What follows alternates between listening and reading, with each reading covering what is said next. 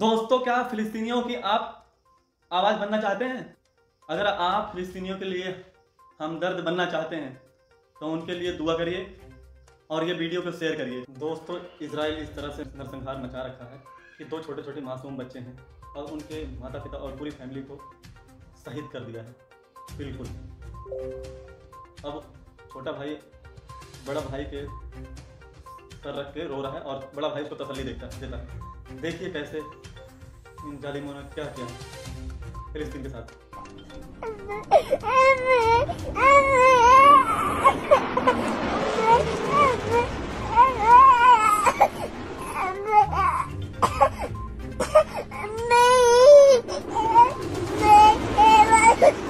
Israel का फिर से बड़ा डिप्टी कमांडर मारा गया है। 89 बटालियन का है। वैसे तो रोज उसके सैनिक मारे जा रहे हैं 10 से 15 15 मारे जा रहे हैं। लेकिन अभी जो मारा गया है, ये डिप्टी कमांडर है। मारा गया। लेबनान के रमिया इलाके में मारा गया। चार सैनिक और मारे गए हैं। ये इसकी तस्वीर देखिए।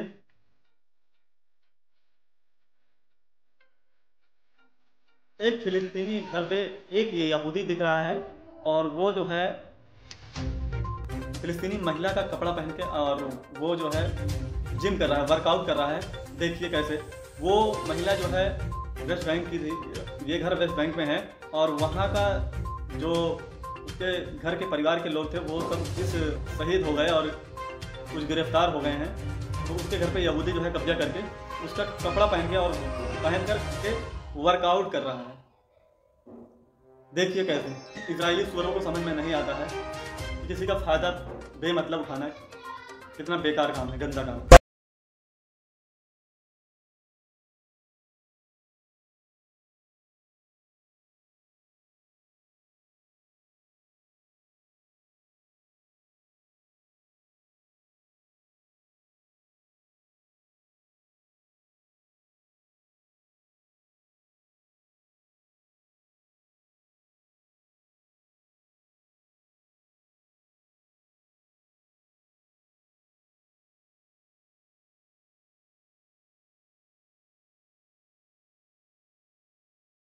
हज़ार तेईस, अब तक 450 खिलाड़ियों को इसराइल खत्म कर चुका है।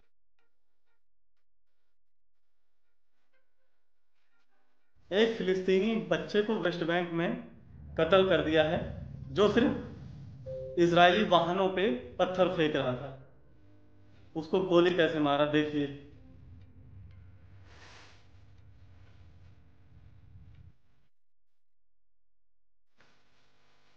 तब जबलिया कैंप से लोगों को इसराइल निकाल रहा है और ये जा रहे हैं बच्चे। तो उनसे जो है उनसे जो है एक पत्रकार पूछता है बच्चे से कि आप जा कहाँ रहे हैं? तो बच्चा रो के कैसे दिल को चीर देने वाली देखिए कैसे रोता है और रो भी कैसे बताता है। दिल को छल करने वाली बात नहीं देखिए। शामेश मलिक तो जाने वाली